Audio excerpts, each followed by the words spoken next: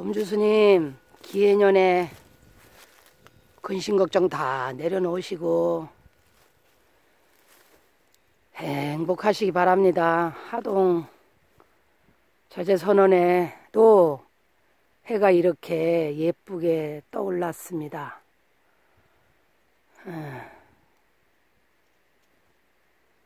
원정 스님, 범주 스님, 그리고 유튜브 구독하시는 구독자 여러분,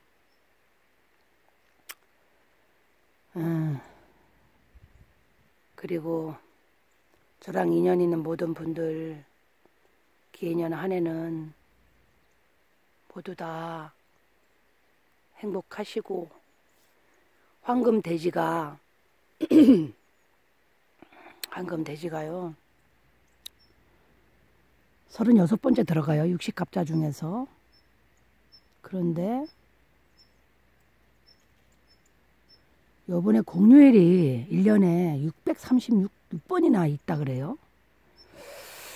그리고 어 대지에는 역사적으로도 그렇게 힘든 일은 별로 없었던 걸로 제가 이렇게 어 그런 거는 그렇게 큰 일은 없었고요. 경인선이 한번 개통이 됐다 그래요. 예.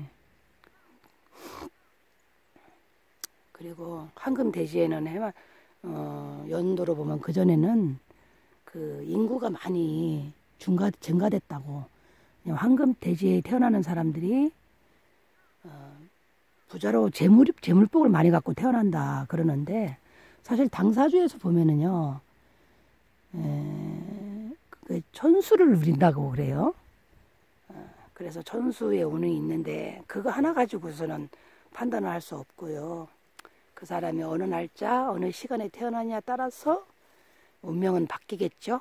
예, 그랬다. 그래도 이제 힘들었던 한 해 다들 묵은 해는 보내시고요. 한해 기해년 황금 대지에는요. 마음에 그 원하는 것들 그런 것들을 꼭 잘 그림을 그리셔서요. 1년 어, 뒤에 그 꿈이, 그 그림이 어떻게 완성됐는지 확인해, 확인해 보시기 바라겠습니다. 그 그림 그리는 방법은요.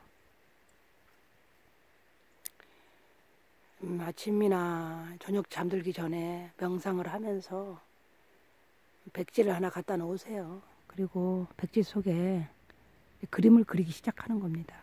그래, 그림을 그려서 내가 원하는 그림이죠. 그림을 그려서 고이 접어서 내 몸의 어딘가에 보관을 하면 되거든요. 의식으로서 얼마든지 가능한데 그래도 이제 양미간사에 보면은 제3의 눈이라는 곳이 있어요. 그걸 접어서 그 제3의 눈에다가 그 터널을 뚫고 들어갑니다. 들어가서 거기다가 자기가 원하는 그림을 그려서 잘 보관을 해 놓으시면 되겠습니다.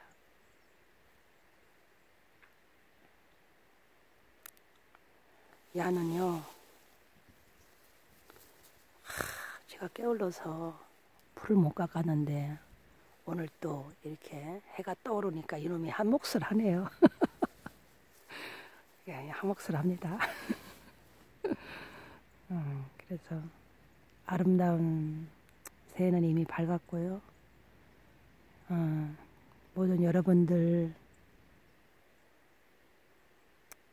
2019년에는 뜻하는 대로 모두 다, 다 많은 덕을 실천하시고 소원하는 바 뜻과 같이 모두 다 이루시길 기원 드리겠습니다.